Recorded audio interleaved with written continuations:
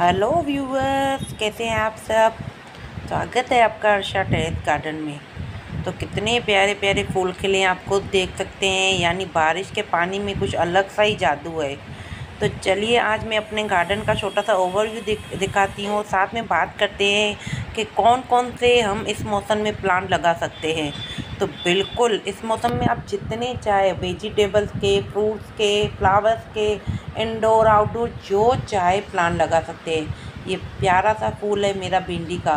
भिंडी तो मैं कहूँगी बारिश में आप अगर बिगनर हैं तो एक बार ज़रूर लगाइए।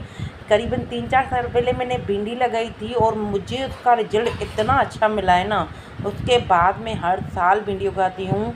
लेकिन अगर आप चार पाँच सदस्य की फैमिली है तो कम से कम आपको दस से बारह प्लांट लगाने पड़ेंगे।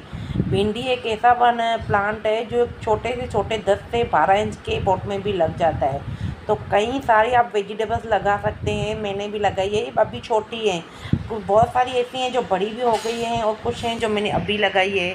तो ये ब्रिंजल है जो मैंने कुछ अभी सीडलिंग की हुई है। तो यानी आपको मेरी मिट्टी बिल्कुल दिखाई देती होगी। बहुत गीली है, ये मिर्ची की यानी सैपलिंग है। तो जितनी भी सैपलिंग है ना, मैंने सीड से अपने घर में ग्रो की है।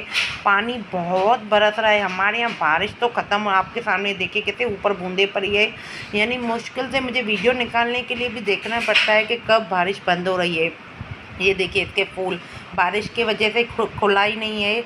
यानी इतनी हमारे यहाँ बारिश हो रही है ना, मुश्किल से दो तीन घंटे रुक रही है। करीबन छः सात दिन तो बंद ही नहीं हुई है। तो मौसम बहुत अच्छा है, प्यारा सा मौसम है। नर्सरी से अगर आप चाहें तो कई सारे प्लान भी ले सकते हैं। इस मौसम में हर प्लान चलता है। ऐसा कोई प्लान नहीं है कि आपके यहाँ चलेगा नहीं। उसके बाद सारी वेजिटेबल्स चाहे वो है ना, भिंडी हो, ग्वार फली हो, तुरई हो, आप देख सकते हैं मेरी रेड अमरनाथ मैंने दो बार हार्वेस्ट की है, लेकिन अब मुझे नहीं लगता अब इससे ज़्यादा मुझे मिलने वाली है। मैं सोच रही हूँ शायद निकाल दूँ इसको, और ये मेरी गिरिन चोलाई, जैसे हरी सब्ज़ी भी कहा जाता है तो ये मेरी अच्छी ग्रोथ हो रही है। फ़िलहाल तो मैं इनको रहने दूँगी। बहुत तेज़ बारिश हो रही है, पूरा टेरेस गीला पड़ा है और बहुत सारी सीडलिंग बाकी लगानी बाकी भी है। लेकिन वही है, हमारे यहाँ हम गार्डनर को या तो मिट्टी की कमी है, या फिर गमलों की कमी है। चलो, मैं तो वेस्ट में भी लगा ही लेती हूँ, ऐसा नहीं है कि मैं सिर्फ़ गमले ही यूज़ करती हूँ, बहुत सारे मैं वेस्ट भी यूज़ करती हूँ। ये मेरा एक प्लांट काकड़ी का देख सकते हैं, लगा हुआ है, जो अभी मुझे लगाना है। तो इस बार मैंने काकड़ी, तुरई बीटा ग्राउट करेले बहुत सारे प्लांट जो मुझे खुद याद नहीं है, यानी आम हरी मिर्ची, ग्रीन चिली, शिमला मिर्च, मैंने कहा ना, मैंने इकट्ठा इतने सारे प्लांट लगा दिए ना, वो सारे के सेम पली है, सारे के सारे मेरी सीडलिंग ग्रो हो चुकी है, जो मैंने ऑनलाइन उगाई थी। बहुत सारी, मुझे जहाँ जगह मिलती है ना, मैं अलग से कोई प्लांट नहीं पौधों के लिए सीडलिंग ट्रे नहीं तैयार करती हूँ, जहाँ मुझे जगह मिलती है, मैं डाल देती हूँ। तो ये एक प्यारा सा फूल है, ये एक बेल है, फ़िलहाल मुझे इसका नाम नहीं याद आ रहा है। इसमें येलो कलर के फूल आते हैं और बहुत ही प्यारे फूल आते हैं, फ़िलहाल मैं इसका नाम भूल गई हूँ।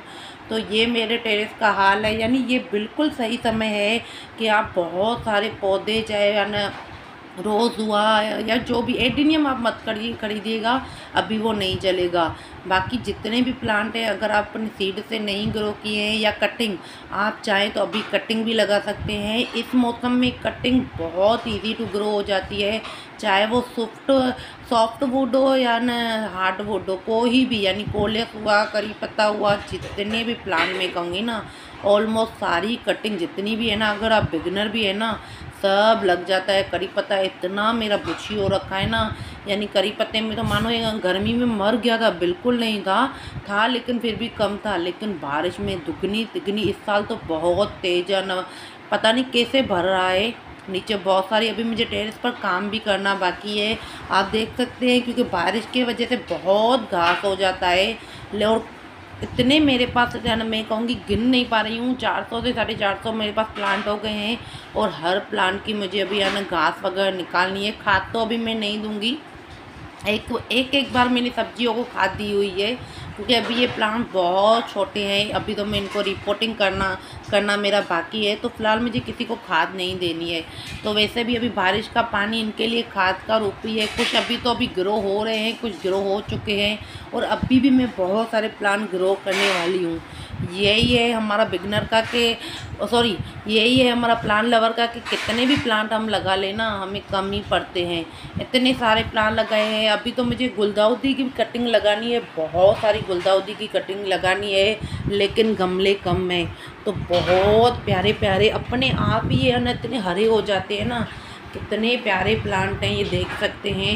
ये मेरा फ्रूट प्लांट है, ये मलबरी का फ्रूट प्लांट है, जो बहुत अच्छे से ग्रो हो रहा है। ऐसा लग रहा है शायद मुझे इसका इसी साल छः एक दो महीना होगा मैंने ये प्लान लगाया है, लेकिन ये इतनी तेज़ी से भरा है ना। इसकी मुझे रिपोर्टिंग करनी पड़ेगी, यानी बहुत।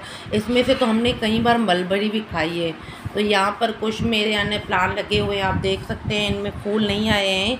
यानी मिक्स में मेरे प्लांट हो गए हैं, इतने प्लांट हो गए ना, कि कभी कभी हम उन प्लांट के नाम भी भूल जाते हैं, इतने सारे प्लांट हो गए हैं। ये सारे मेरे बल्ब से लगे हुए हैं। कहीं रजनीगंधा के बल्ब हैं। बहुत सारे बल्ब से जो है लगाए हुए हैं। पर निखार ऊपर आपको बहुत अच्छा लगेगा, क्योंकि बारिश में गार्डन इतना अच्छा हो जाता है ना। लेकिन एक चीज़ और भी होती है कि हमारे बहुत सारे प्लांट मरते भी हैं। कई सारे ऐसे प्लांट हैं, जैसे सदाबार हुआ या फिर बहुत सारे ऐसे सक्लेंट प्लांट हैं, जो हमारे यहाँ बारिश में या ना रहते नहीं हैं, क्योंकि टेरिस पर तो आपको पता है खुला हुआ है। और मेरे यहाँ रखने की बिल्कुल कम जगह है। तो पूरा टेरिस भरा हुआ है। उसके बाद हमें टेरिस का भी ध्यान रखना होता है, कहीं टेरिस ख़राब ना हो जाए। क्योंकि ऐसा नहीं कि हम गार्डनिंग के चक्कर में ये देखिए कैसे मिट्टी रखी हुई है, यानी ये मिट्टी यानी मेरी नई मिट्टी है, जहाँ से भी मुझे देखती हूँ ना कहीं खुदाई हो रही है, वहीं से मैं मिट्टी मिट्टी जाती हूँ लेके आती हूँ। घर में तो बहुत डांट भी पड़ती है।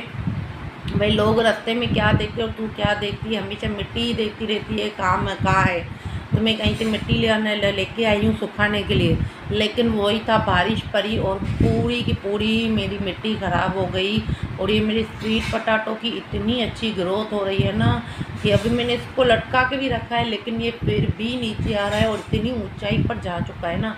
मैंने तो सुना है इसके पकौड़े भी बनते हैं, इसके पत्ते के कभी मैंने बनाए नहीं हैं। अगर आपने बनाए हो तो मुझे बताना ज़रूर।